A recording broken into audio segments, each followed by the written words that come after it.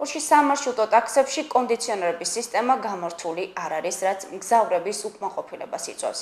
მათი მტკიცებით, სამარშრუტო ტაქსებით მგზავრობა ჰაერის მაღალი ტემპერატურის გამო გაუსაძლისი გახდა და შესაბამის ორგანოებს რეაგირებას თხოვენ. მგზავრების პრეტენზიებს პასუხობენ მძღოლები და იმ კომპანიის ხელმძღვანელი პირები, რომლებსაც საზოგადოებრივი ტრანსპორტი ეკუთვნით. ფარმის ისე მიჩემნია ესე ვიყო რა. ხან ფანჯარა ჩაუძრო, ხან მოღრუბული იქნება, ხან გრილი ამიტები იქნება და კონდიციონერის დამონტაჟებას გორში მოძრავი საზოგადოებრივი ტრანსპორტის მძღოლები საჭიროდ არ მიიჩნევენ. როგორც განმარტავენ, სამარშრუტო ტაქსში გაგრილების სისტემის არსებობა გარკვეულ ხარჯებს უკავშირდება და მათ მისი დაფარვის შესაძლებლობა არ აქვს. მძღოლები ამბობენ, რომ გზავრებისთვის მანქანის გაჩერება ყოველ 20-30 მეტრში უწევთ. ამ რეჟიმში კი კონდიციონერი დიდხანს ვერ იმუშავებს და წყობრიდან გამოვა. ხა ჩავთვი კონდიციონერი, ხო? და წავავით მე ვარ. უნდა გავაჩურო უმეტრაში ეს დიდი კადები გაიგოს. გავაცივი ჰაერი, შემოაცხელი ჰაერი. მე ესე 2 მეტრაში უნდა გამაჩერებინო კიდე მანქანა.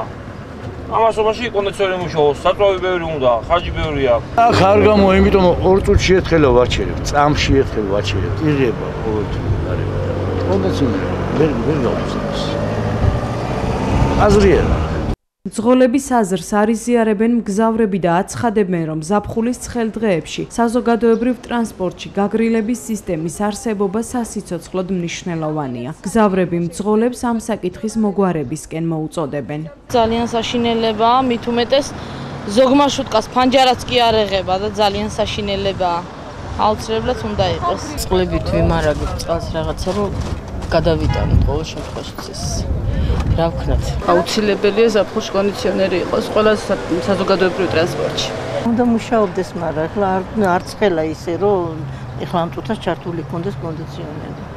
გაგრილების სისტემა გორში მოძრავ არც ერთ სამარშრუტო ტაქსში არ არსებობს. ანალოგიური მდგომარეობაა სოფლების მიმართულებით მოძრავ ტრანსპორტშიც. გორში საუბნო ხაზებზე მანქანების მოძრაობას რამდენიმე შეპესე განაგებს. ერთ-ერთი გორი ტრანსია, რომლის ხელმძღვანელიც ჩვენთან სატელეფონო საუბარში აცხადებს, რომ მის განკარგულებაში არსებულ სამარშრუტო საშუალებებში კონდიციონერის მონტაჟს გარკვეული მიზეზებიდან გამომდინარე აზრი არ აქვს.